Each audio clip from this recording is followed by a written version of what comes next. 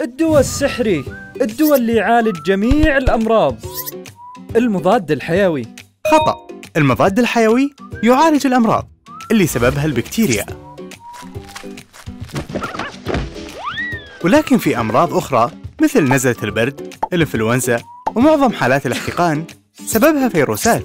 الفيروسات ما تتعالج بالمضاد الحيوي. فاستخدامك المضاد الحيوي ما راح يساعدك تتحسن وما راح يعالج الفيروس وما راح يمنع انتقال المرض للآخرين. بالعكس ممكن يضرك. ليه؟ لأن استخدام المضاد الحيوي بدون حاجة يجعل البكتيريا أكثر قوة وشراسة ويزيد من مقاومة البكتيريا للمضادات الحيوية. يعني في حالة إصابتك بمرض بكتيري مستقبلا يكون المضاد الحيوي بلا فائدة. فإذا أصبت بنزلة برد ترى الحل بسيط. حاول ترتاح واشرب الكثير من السوائل.